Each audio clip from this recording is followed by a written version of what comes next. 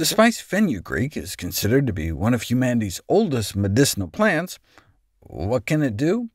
In my last video on fenugreek, I explored the evidence showing it can improve sexual function in both men and women, decrease menstrual pain, and boost milk production in lactating mothers. And what are the side effects? 15 randomized controlled trials show, on average, a significant improvement in cholesterol levels, and a dozen other studies show significant improvements in both long and short-term blood sugar control in diabetics and prediabetics, using an average of about a half teaspoon a day over a period of an average of two months. Results clearly indicate that fenugreek is an inexpensive, low-risk dietary supplement that has potential to improve blood sugar control in diabetes.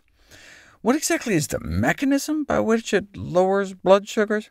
There's a peculiar amino acid in fenugreek that increases insulin release from the pancreas.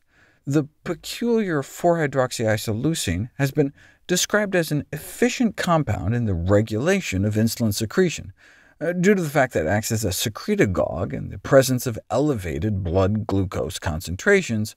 It has been proposed for the potential treatment of insulin resistance, diabetes, and obesity. Now, there's a class of diabetes drugs that does the same thing. Sulfonylureas, uh, sold as like glucotrol, glyburide, micronase, glipizide. The problem is that they increase insulin secretion whether you need it or not, and so there's a risk of severe hypoglycemia, uh, driving your blood sugars too low. The funky fenugreek amino acid, on the other hand, only boosts it when you need it. When your blood sugars are normal, it has no effect. It only seems to stimulate extra insulin release when you need it most, when your blood sugars are high. What these researchers did, was after consent was obtained from family members, pancreases were obtained from brain-dead organ donors. Put the insulin-secreting cells in a petri dish at a low blood sugar concentration, and they release a little insulin, and at high blood sugar levels they release more insulin. That makes sense. That's what they're supposed to do, since insulin is the hormone your body releases when trying to bring down your blood sugars. Add in some of that fenugreek amino acid, though, and you can boost insulin production. Great. But if that happened even at the low blood sugar concentration too, it would be like the drugs and you could dip too low. But no, when you don't need extra insulin, no fenugreek effect. What about the role of fenugreek in the prevention of type 2 diabetes?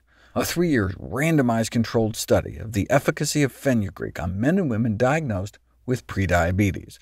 Those randomized to fenugreek were told to take 1 and a third teaspoons of fenugreek powder twice a day before meals, and both the fenugreek and control groups that didn't get any fenugreek were both given identical diet and lifestyle advice. And by the end of the study, the cumulative incidence rate of diabetes was reduced significantly in the fenugreek group.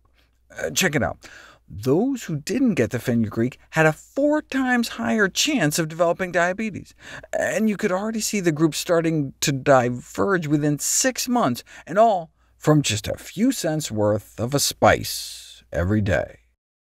If you yourself want to intimately support this kind of amazing research in the future, be sure to register at organdonor.gov.